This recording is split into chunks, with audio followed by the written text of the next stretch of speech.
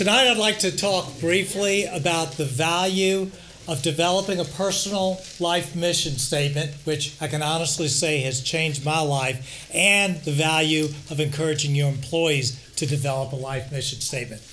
A little background from college and then seminary, I did the next logical thing and joined my brother in business.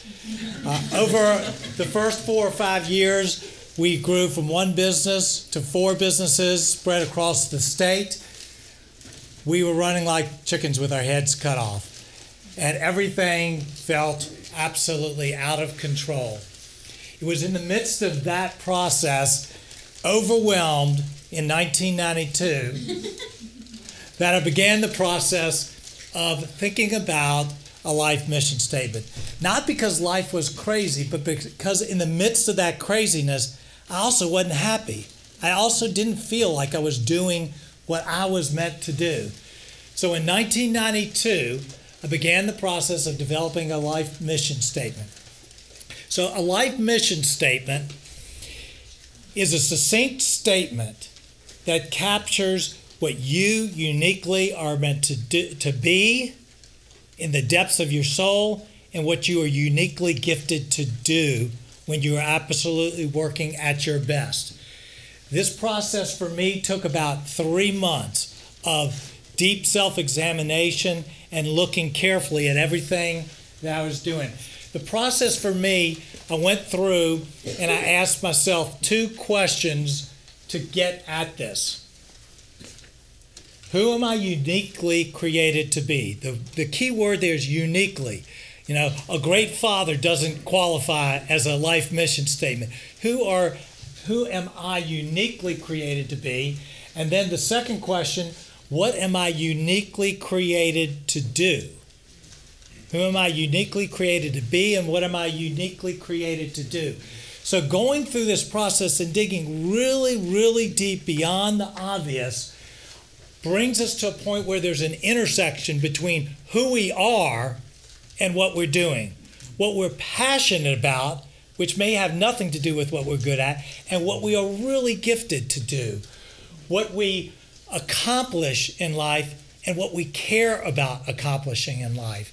That a life mission statement should incorporate strongly your passions, it should emphasize your strengths and talents, and take seriously your weaknesses.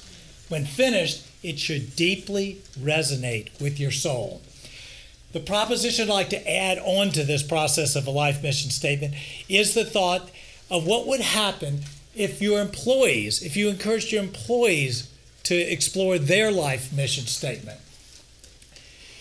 When almost 1.7 million employees were asked the simple question at work Do you have the opportunity to do what you do best every day? Only 20% said yes. Only 20% said yes of the companies in that survey, where over 50% of the people said yes, increased productivity in those companies by 38%, decreased turnover, and increased customer satisfaction by 44%. In other words, for those that paid attention to this, for those companies that paid attention, they were more productive with less turnover, happier employees, and happier customers a big win. Is there a risk that employees will leave their jobs once they understand what they are uniquely wired to do? Well, it depends. It depends on whether you as a company are willing to adapt and work to try to help the people as they find what they're doing. If you are willing to do that, then you have the ability to transform the culture of your company by going through this process. The challenge I would like to leave you tonight two challenges. One, you personally do the hard work of discovering your life mission statement. And two, take the risk of encouraging your employees to discover their life mission statement.